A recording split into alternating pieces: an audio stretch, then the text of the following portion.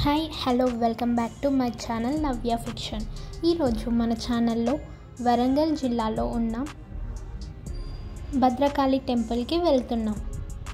ఈ ఆలయం క్రీస్తు ఆరు వందల ఇరవై ఐదులో నిర్మించినట్లు ఇక్కడి శాసనాల ద్వారా తెలుస్తుంది మనకి. ఈ ఆలయంలో ప్రధాన దేవత భద్రకాళి అమ్మవారు. శ్రావణ మాసంలో భద్రకాళి అమ్మవారిని వివిధ రూపాలలో అలంకరిస్తారు. ఈ వీడియో చివరి వరకు చూడండి. ఈ ఆలయం గురించి మరిన్ని విషయాలు మనం తెలుసుకుందాం. ఈ ఆలయం మార్నింగ్ ఫైవ్ థర్టీకి తెరిచి మధ్యాహ్నం ఒకటి గంటల వరకు ఉంచుతారు. మరియు మళ్ళీ తిరిగి మూడు గంటల నుండి సాయంత్రం ఐదున్నర నిమిషాల వరకు దేవాలయం తెరిచి ఉంటుంది. ఈ ఆలయానికి దగ్గరలోనే థౌసండ్ పిల్లర్ టెంపుల్ ఉంటుంది. ఆ టెంపుల్ గురించి ఒక వీడియో చేశాను. ఆ వీడియో ఈ వీడియో డిస్క్రిప్షన్లో పెడతాను లింక్. భద్రకాళి ఆలయాన్ని దక్షిణ భారతదేశపు స్వర్ణ దేవాలయం అంటారు. ఎందుకంటే ఈ ఆలయం సూర్యోదయం సూర్యాస్తమయం సమయాల్లో బంగారంలో సిపోతుంది అందుకే భద్రకాళి ఆలయాన్ని దక్షిణ భారతదేశపు స్వర్ణ దేవాలయంగా పిలుస్తారు. భద్రకాళి ఆలయంలో ఉన్న అమ్మవారికి ఎనిమిది చేతులు కలిగి ఉంటాయి. కుడివైపు ఉన్న నాలుగు చేతులలో ఖడ్గము చురిక జపమాల డమరుకం ఉంటాయి. ఎడమ వైపున ఉన్న నాలుగు చేతులలో గంట త్రిశూలం చిన్మ మస్తకం పానపాత్రాలు ఉంటాయి.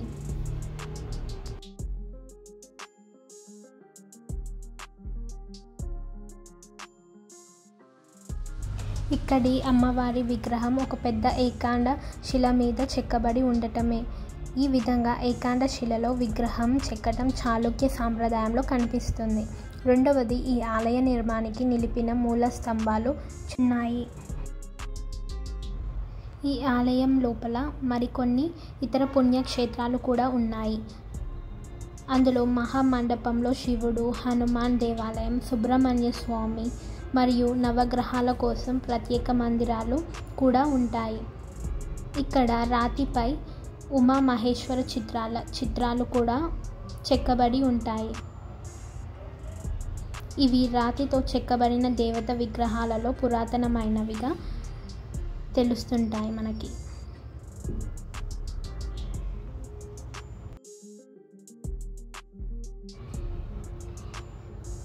పండుగల సమయంలో ఈ ఆలయానికి చాలామంది సందర్శిస్తారు.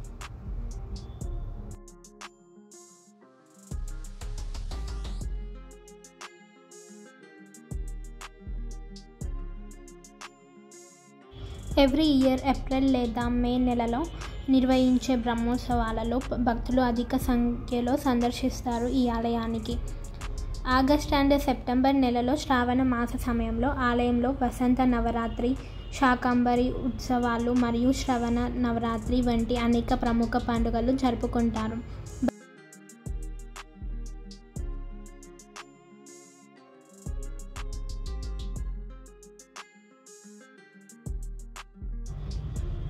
ఈ ఆలయంలో బతుకమ్మ పండుగను మహిళలు చిన్నపిల్లలు అందరూ చాలా బాగా జరుపుకుంటారు.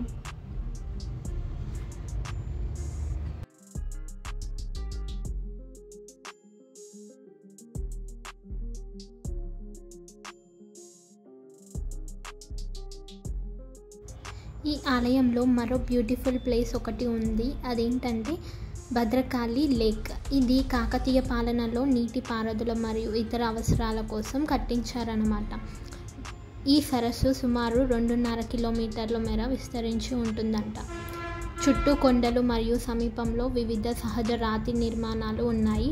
ఇది భద్రకాళి దేవాలయం యొక్క ఆధ్యాత్మిక ప్రకాశాన్ని జోడించే ప్రశాంతమైన దనమాట ఇది చాలా ఆకర్షణీయంగా ఉంటుంది అండ్ ఈ సరస్సు చాలా బాగుంటుంది.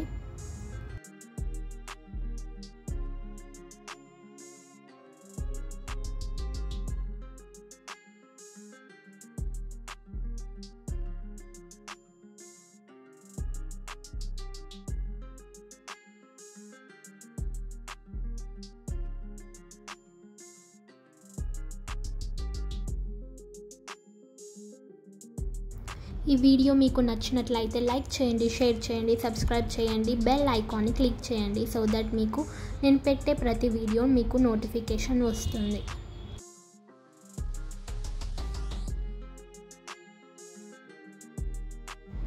అక్కడ క్లిక్ చేసిన సమ్ బ్యూటిఫుల్ పిక్చర్స్ని చూసేయండి.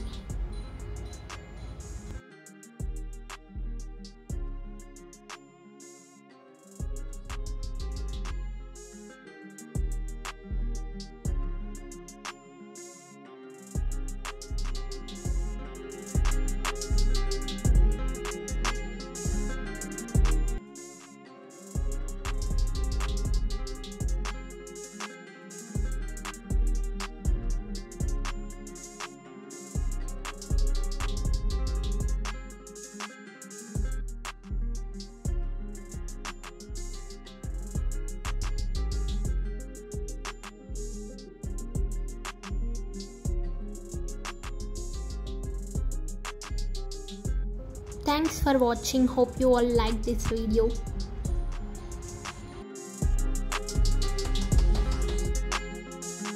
Like, share, comment this video.